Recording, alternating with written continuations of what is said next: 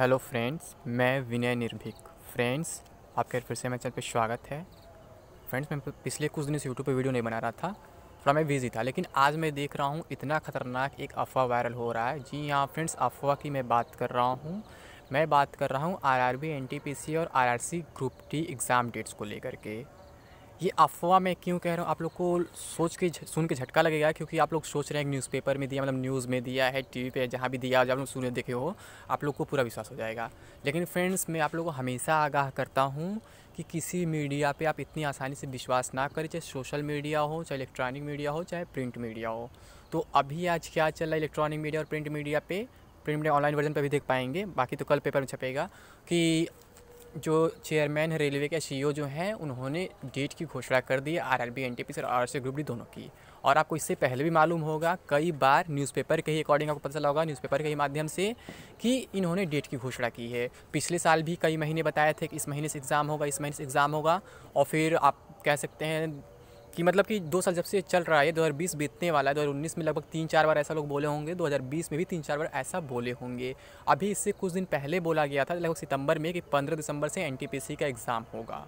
और आप जान रहे हैं, पंद्रह दिसंबर से जो है, आइसोलेटेड कैटेगरी का एग्ज़ाम होने जा यानी कि टीचर और स्टेनोग्राफर वगैरह का। और फिर ये लोग अब क्या बोल रहे हैं, कि 28 तारीख से, यानी 28 दिसंबर से एनटीपीसी का एग्ज़ाम कराएँगे, लगभग मार्च तक बोले हैं, और फिर अप्रैल से जून तक ग्रुप डी का कराएँगे।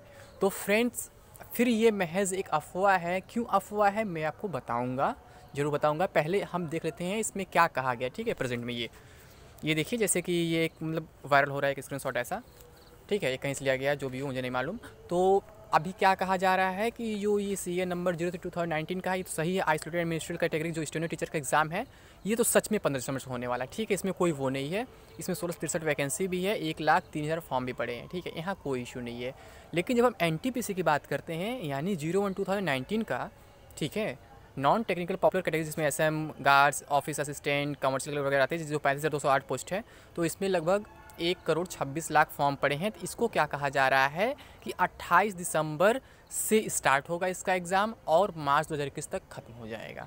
ठीक है? यानी कि लगभग तीन महीने चलेगा।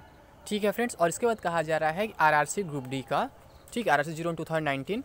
इसमें ट्रैक मेंटेन पॉइंट्स में वगैरह पोस्ट आते हैं, जिसमें एक लाख तीन हज़ार सात सौ उनहत्तर पोस्ट है और एक करोड़ पंद्रह लाख फॉर्म पड़े हैं। इसे कहा जा रहा है अप्रैल से जून तक चलाया जाएगा। तो फ्रेंड्स, मैं बता दूँ कि अभी तक जो है कि एनटीपीसी का केवल एप्लीकेशन स्टेटस दिया गया एक्सेप्ट हुआ है कि रिजेक्ट हुआ है। अभी तक डिटेल शेड्यूल तक नहीं दिया गया है और अगर हम ग्रुप डी का बात करें तो उसका स्टेटस तक नहीं दिया गया है। एक बार शेड्यूल आया था, उसमें काफ़ी कैंडिडेट्स का जो है फ़ोटो सेंसर में इशू हुआ था, फिर दोबारा मांगा गया था, फिर उसका स्टेटस अभी तक नहीं दिया गया है और एनटीपीसी में दोबारा मौका भी नहीं दिया गया है। तो फिर ये नया डेट कहाँ से आ गया ये सवाल उठता है? तो फ्रेंड्स नया डेट यहाँ से आया है कि आपको मालूम होगा, अभी देश में किसान आंदोलन चल रहा है बहुत ज़ोर शोर से, जिसको देखते हुए युवा वर्ग भी मतलब कि थोड़ा उत्साहित हो रहा है, उत्तेजित हो रहा है जो बेरोज़गार वर्ग है तो वो अब लोग प्लान बना रहे थे वो लोग कि अब हम अपने लिए भी मतलब फिर से कुछ करें या किसानों का साथ दें, उन्हीं में जुट जाएँ या फिर अलग से अपने लिए आंदोलन करें। क्योंकि जो रेलवे के एग्ज़ाम्स जो दो साल से पेंडिंग पड़े हुए हैं, उन पर कोई चर्चा नहीं हो रहा है, कोई कार्रवाई नहीं हो रहा है, ठीक है? तो ये सब देख के जो है, और ये चेयरमैन जो है नेताओं के कहने पे एक ऐसी घोषणा कर दिए हैं मैं कह रहा हूँ कि हंड्रेड परसेंट झूठ ऐसी घोषणा कर दी हैं जो पॉसिबल नहीं है। अभी अट्ठाईस दिसंबर से एनटीपीसी बोल रहे हैं। मैं आपसे ये कहूँगा फ्रेंड्स कि जब तक आपको कोई ऑफिशियल नोटिस साइट पे न मिल जाए, तब तक आप न माने। जबकि ऑफिशियल नोटिस भी रेलवे के गलत हो जा रहे हैं। जैसा कि आप जान रहे हैं, अभी सितंबर में एक नोटिस आया था, जो साइट पे अपलोडेड था कि 15 दिसंबर से होगा। बट ये आज का न्यूज़ अभी साइट पे अपलोड है, नहीं, मुझे नहीं मालूम है बट कहीं से भी एग्जैक्ट सही नहीं लगता है कि ऐसा पॉसिबल हो पाएगा, क्योंकि अभी तक इन्होंने डिटेल शेड्यूल तक जारी नहीं किया है, जबकि सितंबर में ये बोले थे कि पंद्रह दिसंबर से एग्ज़ाम होगा और अक्टूबर में डिटेल शेड्यूल जारी कर दिया गया। क्या अक्टूबर अभी तक आपका नहीं बीता है? आप ये बताइए अक्टूबर बीत गया नवंबर बीत गया लेकिन डिटेल शेड्यूल अभी तक जारी नहीं हुआ तो इससे आप अंदाज़ा लगा सकते हैं फ्रेंड्स कि ये क्या है? ये सच नहीं है हमेशा की तरह ये भी झूठ साबित होगा। मैं आपसे कभी नहीं कहूँगा फ्रेंड्स कि आप अपना प्रिपरेशन छोड़ दें एग्ज़ाम दे रहे हो इसलिए प्रिपरेशन ना करें। मैं आपको प्रिपरेशन करने से मना नहीं कर रहा हूँ नहीं तो अभी आप, आप लोग ये सोचेंगे कि इसलिए कह रहा था कि बच्चे प्रिपरेशन ना कर पाएँ और जो प्रिपरेशन कर रहे हैं केवल उन्हीं का सिलेक्शन तो मैं ऐसा कभी नहीं कहूँगा फ्रेंड्स मैं आपको प्रिपरेशन करने से मना नहीं कर रहा हूँ बस मैं ये कह रहा हूँ कि आप झूठे अफवाह ध्यान न दें केवल आप अपने प्रिपरेशन पे लगे रहें, ठीक है?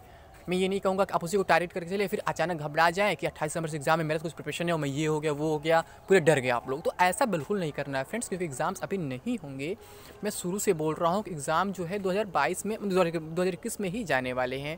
मैं शुरू से कह रहा हूँ, मैं बोला कितना जल्दी कराएँगे, जनवरी फरवरी तो आ ही जाएगा बट अट्ठाईस मतलब जो डेट है, मुझे नहीं हजम हो रहा है फ्रेंड्स इतना जल्दी पॉसिबल नहीं है, क्योंकि अभी आप आज एक दिसंबर है, अट्ठाईस दिसंबर से लोग एग्ज़ाम बोल रहे हैं और अभी तक इन्होंने डिटेल शेड्यूल तक नहीं दिया, जबकि शेड्यूल ये लोग अक्टूबर में ही देने को बोले थे। तो फ्रेंड्स, मैं आपसे बस यही कहूँगा कि आप आगाह हो जाइए, सावधान हो जाइए, ऐसा कुछ होने वाला नहीं है। बस ये क्या है, आपकी आवाज़ों को दबाने के लिए किया जा रहा है, ताकि आप आवाज़ ना उठा सके किसानों की तरह, क्योंकि आप किसान आंदोलन देख ही रहे हैं। सरकार ने कई तरीक़ों से दबाने का प्रयास किया, पर वो दब नहीं पाया। ठीक है तो फ्रेंड्स, मैं आपसे यही कहूँगा, इस पर पूरी तरह से विश्वास न करें, ये ऑलमोस्ट फेक है। ठीक है, ये जो चेयरमैन ने कहा है, ऐसा ये लोग, इन्होंने कई बार कह चुका है, कोई फ़र्स्ट टाइम नहीं है। तो फ्रेंड्स अभी आप विश्वास ना करें, अभी आप केवल प्रिपरेशन पर ध्यान दें। तो आज के लिए बस इतना है फ्रेंड्स थैंक यू